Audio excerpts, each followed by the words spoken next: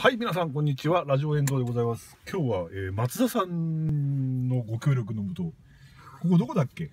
フッサですね。フッサですね。関東松田フッサ店さんに、えーご協力いただきまして、えー無理やりですけど、デミオを乗せていただこうと。デミオのハイエンドです。えーしかも、ディーゼル車。だよね。そうですね。はい。ディーゼルエンジンのタイプですね。今回は。はい。えっ、と、グレード名が XD の L パッケージ。え？XD ツーリング L パッケージ。XD の L パッケージ？すげえなあのパッと見いきなり乗って可愛いですよねはいはい。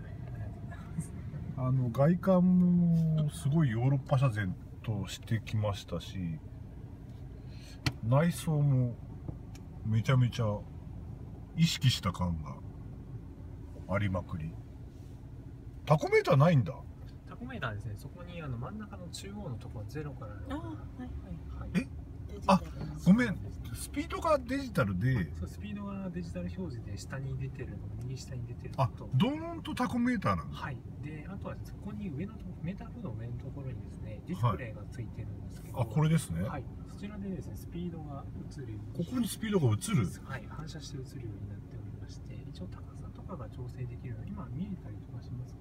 今見えあ見えてる見えてる見えてる。ね、調整ができますので、どこどこどこどこどこ？今やりますので、これで調整ができるように、あ今今バッチリ見えます。今バッチリ見えます。今マッチしてみますか？カメラで映ってる。あ映る。あ映ったね。映りましたね。こん。な感じで走行中目視で目視でというか、えー視界に入るような感じにスピードがなってますね。最近ヘッドアップディスプレイというのが流行っておりまして、結構走って9556キロも走ってるよ。してますね。まんま市場に出ております。バンバン後ろに出てる。あすげえトルクありますやっぱり。じゃあこちら左に。はーいこのまま左に行きます。あ間違えちゃったごめんなさい。ちょっと久々の、あ、そういえば、初の国産車ですね。よかったです。この間ちょうど C のディーゼル乗せてもらったんですけど、一昨年とあんま変わんないね。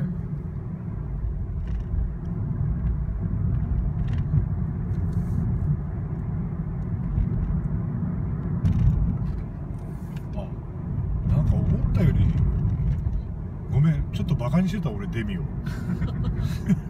そう思いますよね。意外に上質です。信号左に。ちなみにですねあちょっとエンジンブレーキが強めにかかりますねこれ何速ですか全部？6速のオートマに、6速のオートマチック6速？はい、6速を搭載して。この車格ではい、この車両で。あすごいだからこれ滑らかなんだうですね。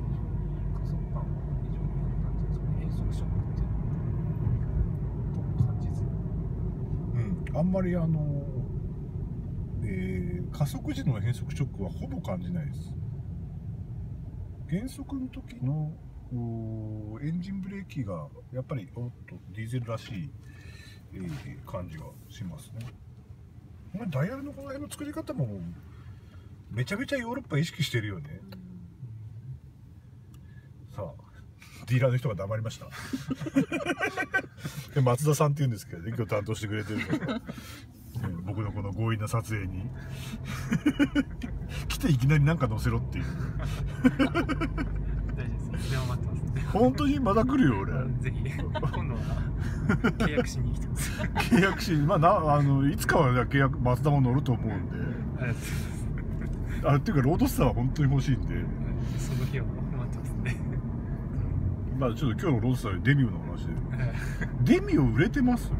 そうですね、販売台数的にはマツダの中でもかなり多いものになります。だよねこれ売れるよねはい。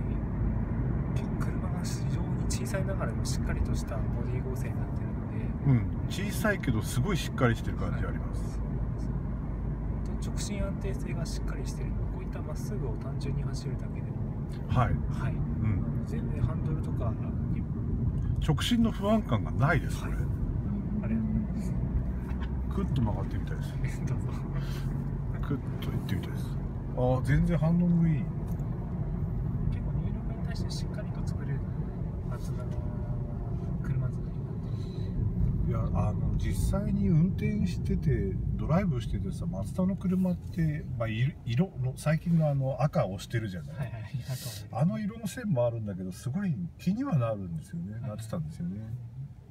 そうですね。赤は非常にあの発売時は非常に赤が非常に人気がありましたそうそうそう。はい。であの赤になってからの松田さんってなんとなくイメージが全然変わってでもそでも初めて乗ってるのがこのデミオ、でえー普通車では一番下の。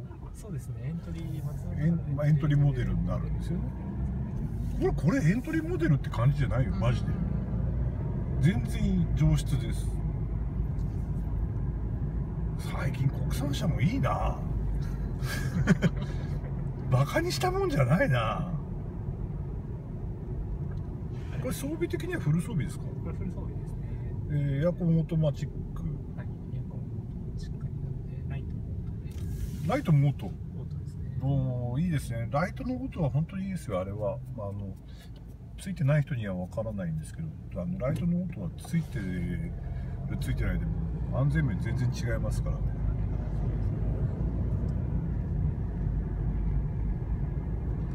意外にこのなんだっけ窓ウィンドウに映るメーター邪魔かと思ったらそうでもないね。まあちょっとカメラで映りづらいかもしれないですけど。あのちょっとまあ視線を下げて。視線を下げると本当に視界の中に入るんで、はい。ああいい。えごめん言っちゃあれだけどゴルフよりいいかもしれない。ありがとうございます。大きな声で言わなかった はちょっとまあゴルフはゴルフでまだ別にね乗りにしっかり乗ってみないと分かんないですけどあのなんて言うんでしょう。思ったより静粛だしボディ剛性が体で感じられます。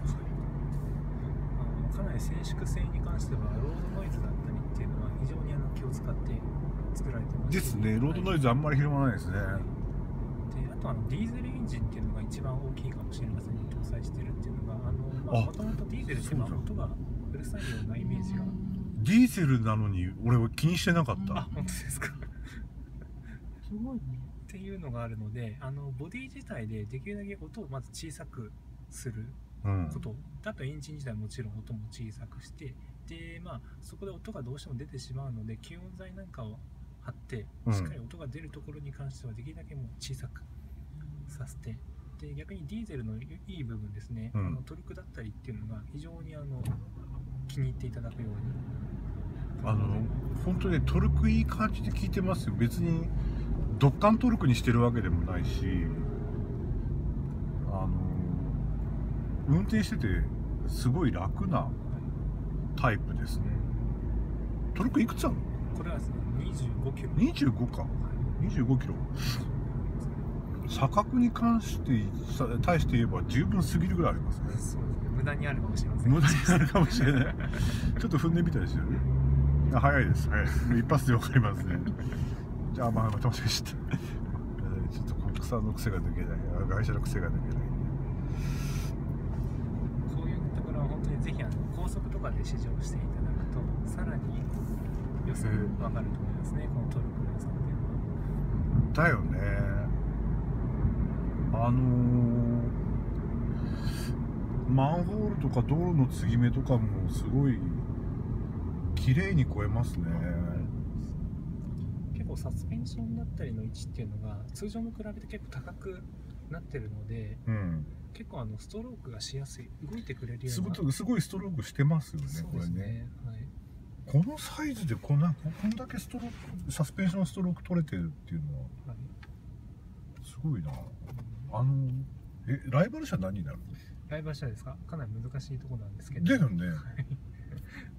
まああまり多分このデミを作ってる段階ではまああまり他のメーカーとかは意識せず小さい車なんですけどもしっかりとした走れる車っていうのを目指して作ってるので、まあ、明確には多分何々がライバルですよっていうのは作ってない車になりますねですね。これちょっとライバルが多分あの皆さんのイメージの中では、えービッツだとか。あまあれトヨタはなんだっけ？トヨタのビッツとかあとアクアとか。アクアとか？あの辺のイメージしてるかもしれないんですけどちょっと僕も両方乗ったことあるんですけどそれに比べれば比べればというかそれと比べちゃいけない感じがしますねあなんか新しいカテゴリーの車乗ってるみたい。えこれでいくら？あこれですか。一応こちらこちらのモデルは車両本体側が約199万8000円になります。お200万切った。200万一応切ってますね。200万切ってこの出来。へはい。えちょっと踏んでみようか。カメラ前向いてもらっていい？はい。ちょっとグッと踏んでみますあートルクがあるからあーちょっとカメラで分かったかどうか分かんないですけど。いい走りするねこれ。かなり踏んだ瞬間にもうシートに背中を押し付けられるような、うん。け結構張り付きありまはいすよ、、貼り付けがあるような加速がありますので。でこれ革っすか？あそれ革のそうですね。ステアリング革っすね。ね。えこの辺も革ですね。革シートのと革ころもはい手に触れるとこ結構なかなかあれでか革使ってます。そうです。え200万切ってんの？200万以上あの車両本体が来てます。安いね。えこのモデルのこの装備で？そうですね。あとはいろいろ諸費用とか。まあまあまあまあそれはね。それはそれはまああの皆さん後で あれか計算していただくとして、えー取得税だとかその辺はかかるんですけど車両本体200切ってこれ出せるってすごいな。燃費どれぐらい走るんですか？燃費ですか、はい。一応カタログ数値は26.4なんですけど。カタログ数値26 26あ出てる。コンピューターで搭載されてます。16.8ですね。試乗車で9561キロ走ってて16.8まあまあ普通にはあの乗ったら17超えてくるかなどうなんだろうな。まあこの辺でまあその近辺と。これこれどっち行く？あ左に。左行く？あまだ乗りました。ごめんなさいちょっとまだ国産車慣れしてないです。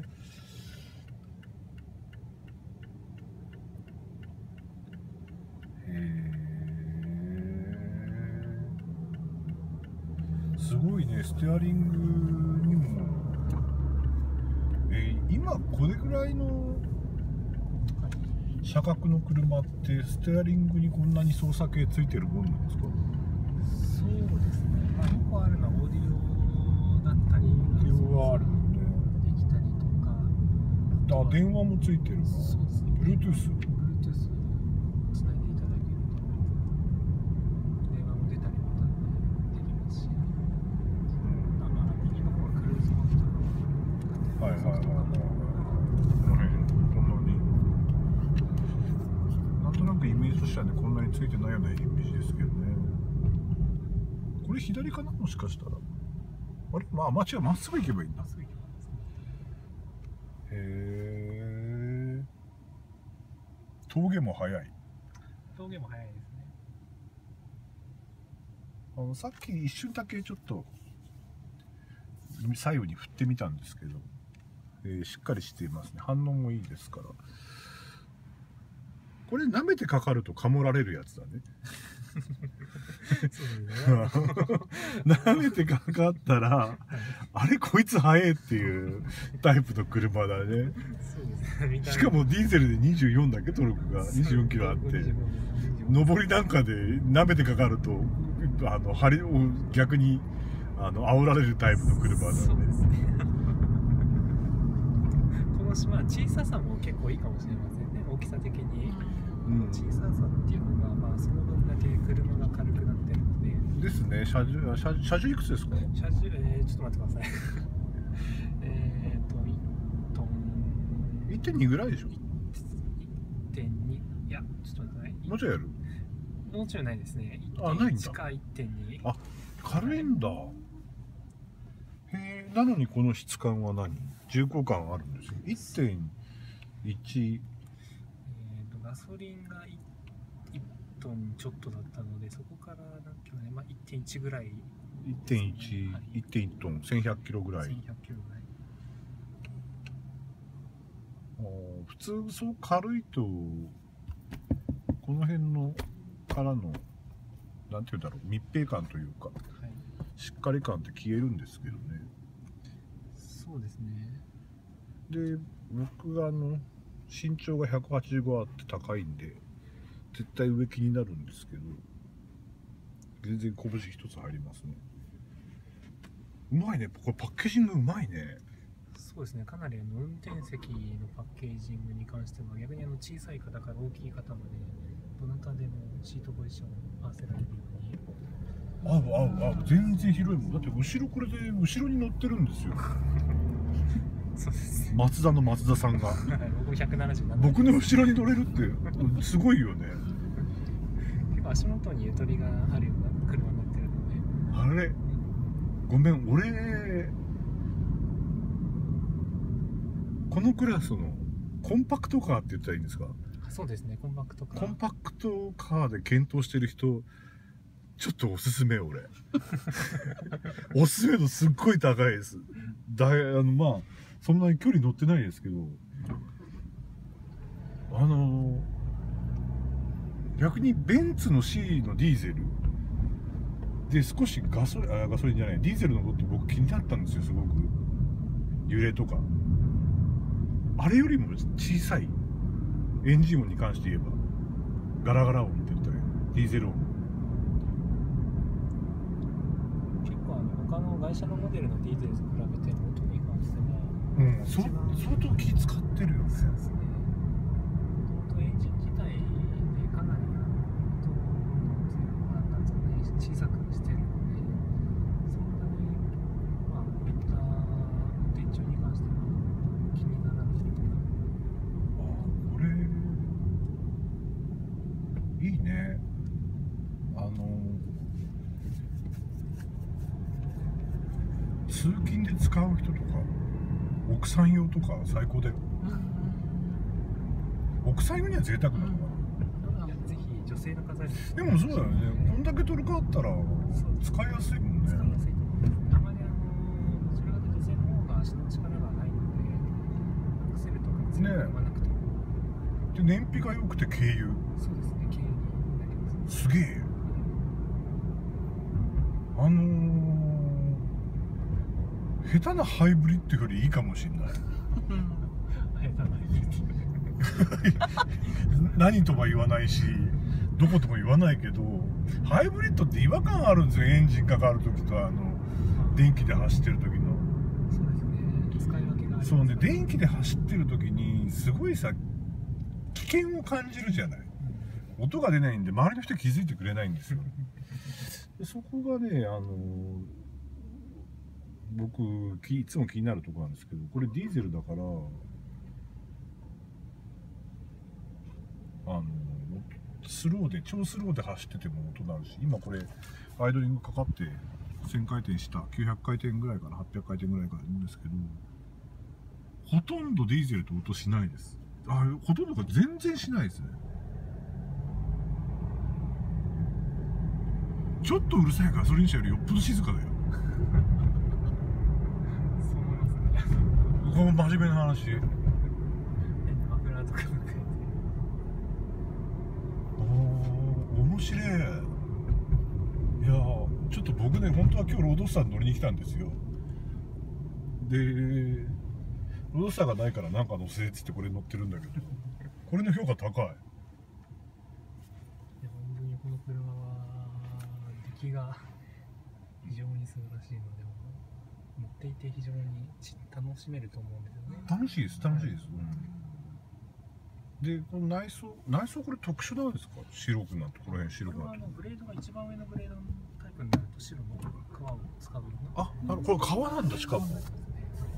えーなんかこうフランス車とかイタリア車とかが採用しそうなデザインそうですね非常にデザイナーのこの色とかも非常に意識してどうしても車って黒いペントになっちゃったりしてしまうのでですね。そういうあの遊び心というか明るさというかそうですね楽しさを感じますね。はい、こういった色を国産車で本当に使ってくれたっていうのはああすごいね。すごいことだとうん思いますね。でこれ今け結構路面荒れてたんですけど分かんないでしょ画面で。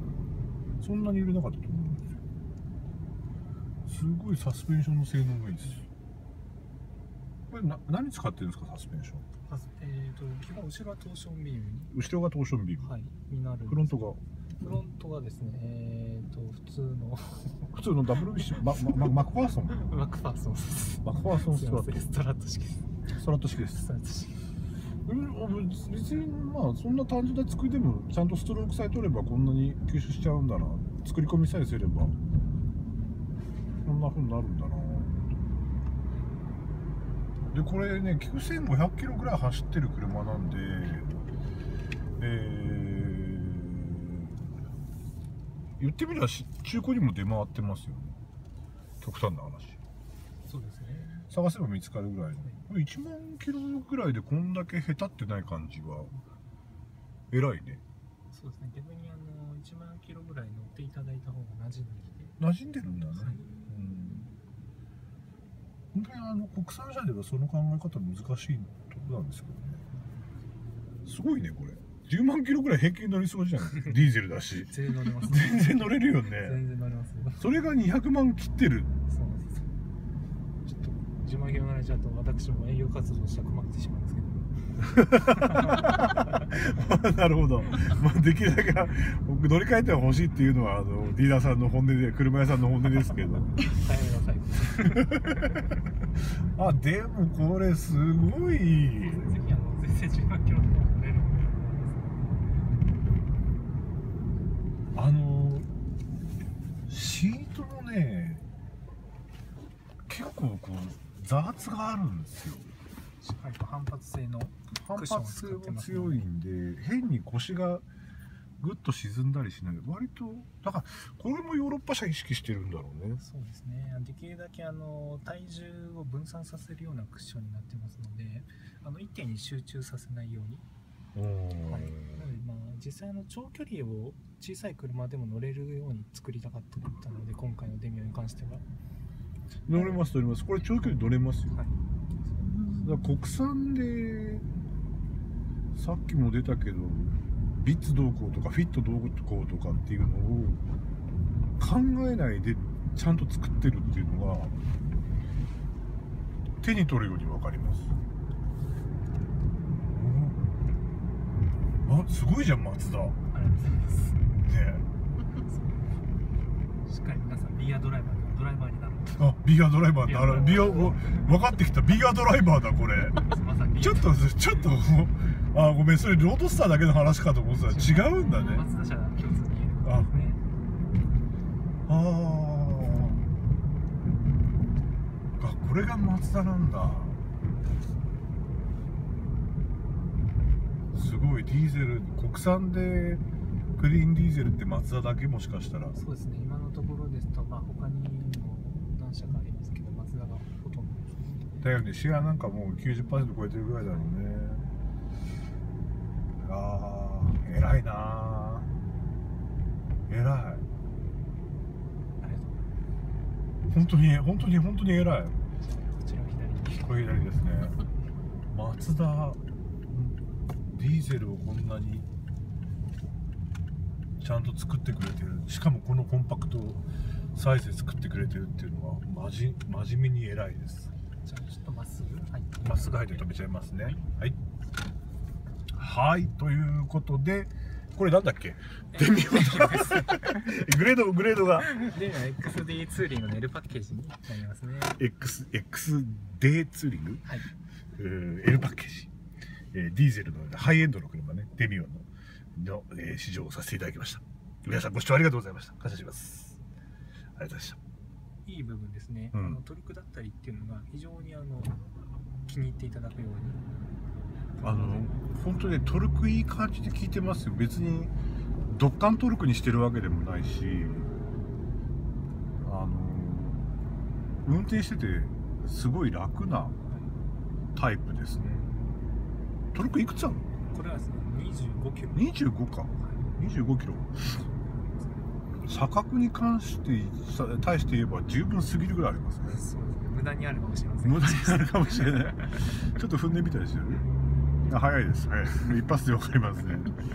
じゃあまあまた間違えちゃったえーちょっと国産の癖が抜けない。あ会社の癖が抜けないこういうところは本当にぜひあの高速とかで試乗していただくとさらに良さが分かると思いますね。このトルクの良さっていうのは。だよね。あのーマンホールとか道路の継ぎ目とかもすごい綺麗に超えますね。結構サスペンションだったりの位置っていうのが通常に比べて結構高くなってるのでうん。結構あのストロークがしやすい動いてくれるよすうなごすごいストロークしてますよねそうこれね。はい。このサイズでこんなこんだけストロークサスペンションストローク取れてるっていうのははい。すごいな。あのえライバル車何になるライバル車ですか？かなり難しいところなんですけど。だよねまああまり多分このデミを作ってる段階ではまああまり他のメーカーとかは意識せず小さい車なんですけどもしっかりとした走れる車っていうのを目指して作ってるので、まあ、明確には多分何々がライバルですよっていうのは作ってない車になりますね。ですね。これちょっとライバルが多分あの皆さんのイメージの中では、えービッツだとか。まあ大きさ的に。あれトヨタはなんだっけ？トヨタのビッツとかあとアクアとか。アクアとかの辺をイメージしてるかもしれないんですけどちょっと僕も両方乗ったことあるんですけどそれに比べれば比べればというかそれと比べちゃいけない感じがしますね。あなんか新しいカテゴリーの車乗ってるみたい。えこれでいくら？あこれですか。一応こちらのモデル車両本体側が約199万8000円になります。お200万切った。200万切った。100万切ってこの出来、は、へえちょっと踏んでみようか。カメラ前向いてもらっていい、はい、ちょっとグッと踏んでみます。トルクがあるから。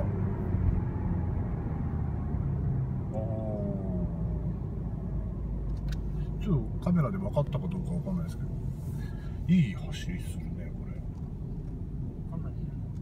瞬間にもうシートに背中を押し付けられるような、うん。け結構張り付きありまはい。すよ、、貼り付けがあるような加速がありますので。でこれ革っすか？あそれ革のそうですね。ステアリング革っすね。すね。えこの辺も革ですね。革革手に触れるとこ結構なかなかあれでか革使ってますそうですえ200万切ってんの200万以上あの車両本体が来てます。安いね。えこのモデルのこの装備で？そうですね。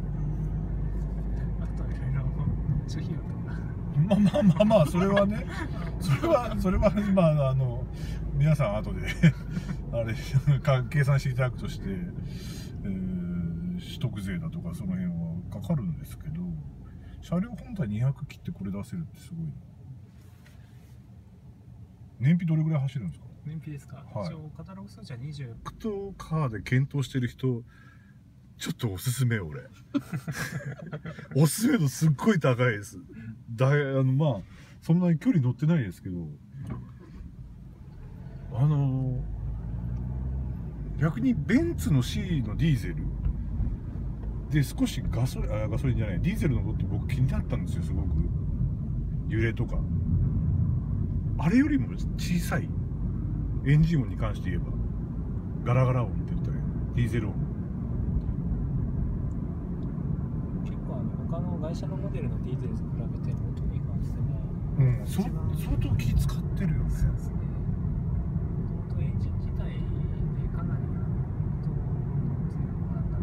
小さくしてるのでそんなにまあこういった運転中に関しては気にならないというかあこれいいねあの通勤で使う人とか奥さん用とか最高だよ。奥さん用には贅沢な。のかいやぜひ女性の方に。なでもそうだよね。こんだけ取るかあったら使いやすいもん使いやねすいと思いますあまりあのどちらかと女性の方が足の力がないのでアクセルとか強く踏まなくても、で燃費が良くて軽油。そうですね軽になります。すげえあのー、下手なハイブリッドよりいいかもしんない。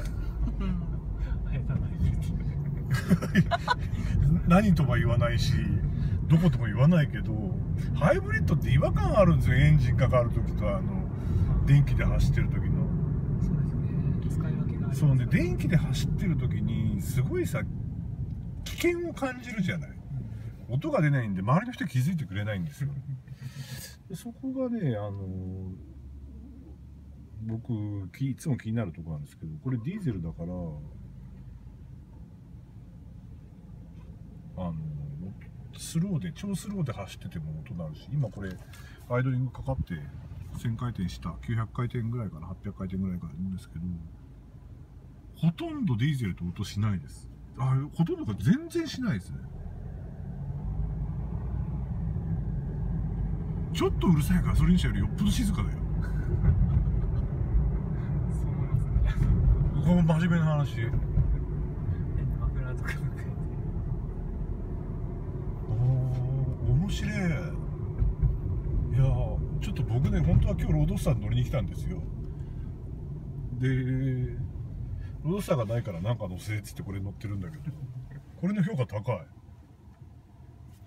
本当にこの車は出来が非常に素晴らしいので乗っていて非常にち楽しめると思うんですよね。楽しいです楽しいです、でこの内装内装これ特殊なんですか？白くなってこの辺白くなって。これはあのブレードが一番上のブレードのタイプになると白の革を使うあなるこれ革なんだしかも。えーなんかこうフランス車とかイタリア車とかが採用しそうなデザインそうですね非常にデザイナーはこの色とかも非常に意識してどうしても車って黒いペントになっちゃったりしてしまうので。ですねそういうあの遊び心というか明るさというかそうですね。楽しさを感じますね。はい、こういった色を国産車で本当に使ってくれたっていうのはああすごいね。すごいことだとうん思いますね。でこれ今け結構路面荒れてたんですけど分かんないでしょ画面で。そんなに揺れなかったと思うんですよ。すごいさ6.4なんですけど、カタログ数値26 26あ出てる。コンピューターで搭載されてます。16.8ですね。試乗車で9561キロ走ってて16.8まあまあ普通にはあのー乗ったら17超えてくるかな。どうなんだろうな。まあこの辺でまあその近辺と。これこれどっち行く？あ、左に。左行くあ、まだ乗りました。ごめんなさい、ちょっとまだ国産車慣れしてないです。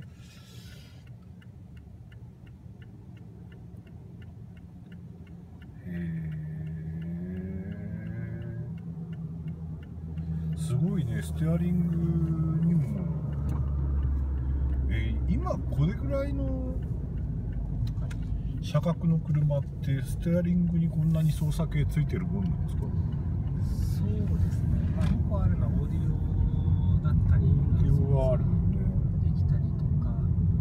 あ電話もついてるなそうですね。Bluetooth Bluetooth つないでいただけると、電話も出たりまたできますし、まあまあ、右の方はクルーズコントロールはいはいはいはいこの辺こんなになんとなくイメージとしてはねこんなについてないようなイメージですけどねこれ左かな？もしかしたら。あれ？まあ間違いまっすぐ行けばいいんだ。へえ峠も速い。峠も速いですね。あのさっき一瞬だけちょっと左右に振ってみたんですけど、えーしっかりしていますね。反応もいいですから。これ舐めてかかるとかもられるやつだね 舐めてかかったらあれこいつ速えっていうタイプの車だね。しかもディーゼルで24だけ？トルクが。24キロあって。上りなんかで舐めてかかるとあの張りを逆にあの煽られるタイプの車だね。この島小ささも結構いいかもしれませんね。大きさ的に。うん。小ささっていうのがまあその分だけ車が軽くなってるのでですね。車重あ車車重いくつですか？車重えー、ちょっと待ってください。えっと1トン。1.2ぐらいでしょ？1.2いやちょっと待ってください。もうちょいやる？もうちょいないですね。あないんだ。1か1.2あ軽いんだ。へえなのにこの質感は何？重厚感あるんですよ1.1えー、とガソリンが 1, トンちょっとだったのでそこからなんキロね、まあ、1.1ぐらい。1.1、1.1トン、1100キロぐらい。1100キロぐらい。普通そう軽いと、この辺のからの、なんていうんだろう、密閉感というか、はい。しっかり感って消えるんですけどね。そうですね。で、僕があの、身長が185あって高いんで、絶対上気になるんですけど、全然拳一つ入りますね。うまいね。これパッケージングうまいね。そうですねかなりあの運転席のパッケージングに関しては逆にあの小さい方から大きい方までどなたでもシートポジションを合わせられるように合う合う合う全然広いもんだって後ろこれで後ろに乗ってるんですよ そうです。松田の松田さんが。僕177僕の後ろに乗れるってすごいよね。結構足元にゆとりがあるような車になってるので。あれ？ごめん俺このクラスのコンパクトカーって言ったらいいんですか？そうですねコンパクトカー。コンパクはい皆さんこんにちは。ラジオ遠藤でございます。今日は、えー松田さんのご協力のもとここどこだっけ？フッサですねフッサですね。関東松田フッサ店さんに、えーご協力いただきまして、えー無理やりですけど、デミオを乗せていただこうと。デミオのハイエンドです。えーしかも、ディーゼル車。だよね。そうですねはいディーゼルエンジンのタイプですね今回ははい。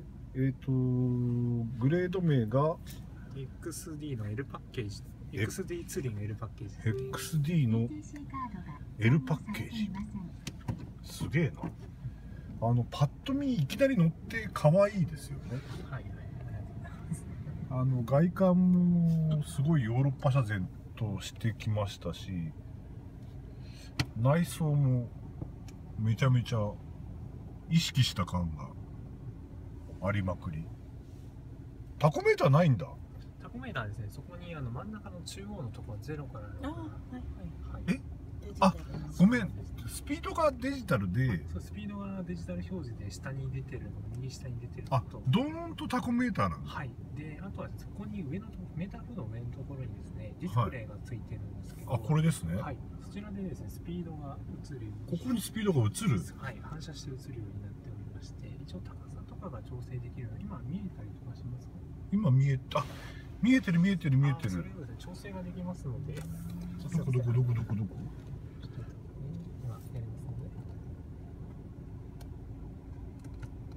これで調整ができるように。あ今今バッチリ見えます。今バッチリ見えます。今マッチしてみますか？カメラで映ってる。あ映ったね。映りましたね。こんな感じで走行中目視で目視でというか、えー視界に入るような感じにスピードがなってますねあヘッドアップディスプレイというのが流行っておりまして結構走って9556キロも走ってるよ。してますね。まんま市場に出ております。バンバン後ろに出てる。あすげえトルクありますやっぱり。じゃあこちら左に。はーいこのまま左に行きます。あ間違えちゃったごめんなさい。ちょっと久々のあそういえば初の国産車ですね。よかったですこの間ちょうど C のディーゼル乗せてもらったんですけど。音としてあんま変わんないね。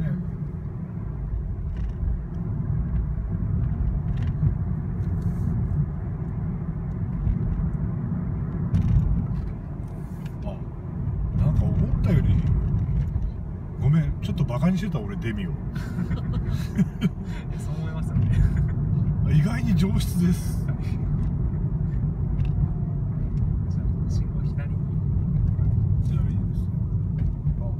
エンジンブレーキが強めにかかりますね。これ何速ですか全部？で6速のオートマに6速のオートマチック。6速？はい6速を搭載してこの車格で。はいこの車両で。あすごい。だからこれ滑らかなそうですね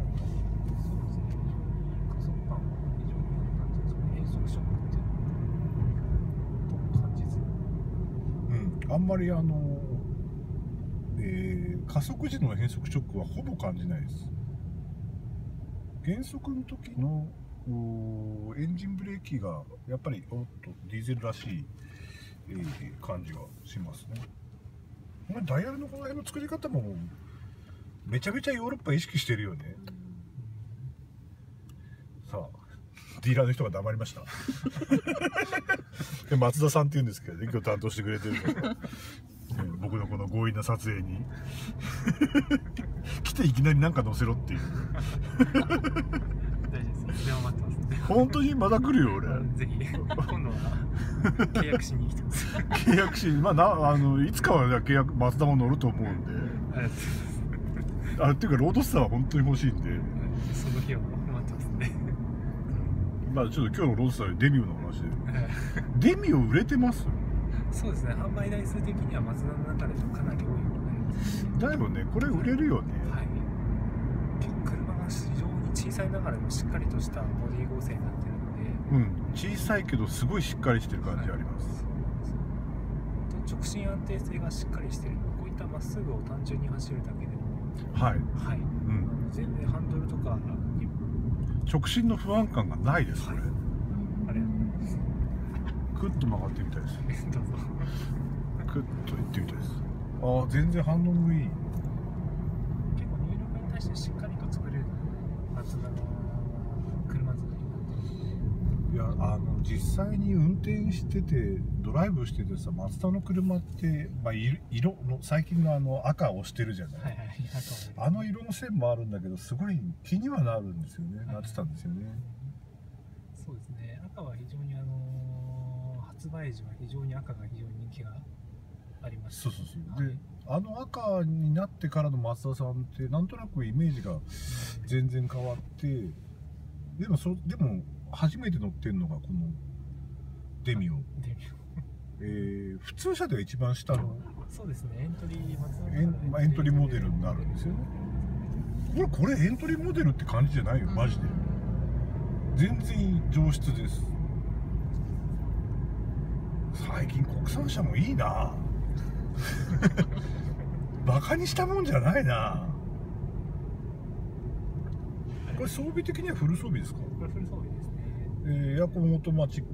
はいエアコンもしっかりなのでライトもオートで。ライトもオート？オートですね。おーいいですね。ライトのことは本当にいいですよ。あれは、まあ、あのついてない人にはわからないんですけどあのライトの音はついてるついてないでも安全面全然違いますからね。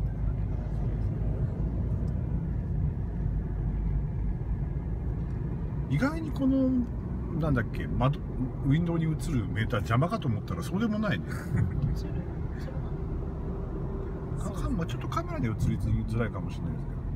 あのちょっとまあ視線を下げて。視線を下げると本当に視界の中に入るんで、はい。ああいい。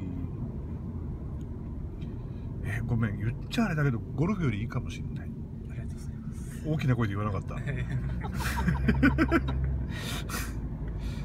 ちょまあゴルフはゴルフでまだ別にね乗りにしっかり乗ってみないと分かんないですけど。あのなんて言うんでしょう。思ったより静粛だしボディ剛性が体で感じられます。かなり静粛性に関してはロードノイズだったりっていうのは非常にあの気を使って作られてますですね。ロードノイズあんまり広まらないですね。であとあのディーゼルエンジンっていうのが一番大きいかもしれませんね。搭載してるっていうのがもともとディーゼルって音がうるさいようなイメージが。ディーゼルなのに俺は気にしてなかった、あ本当ですか。すごいね。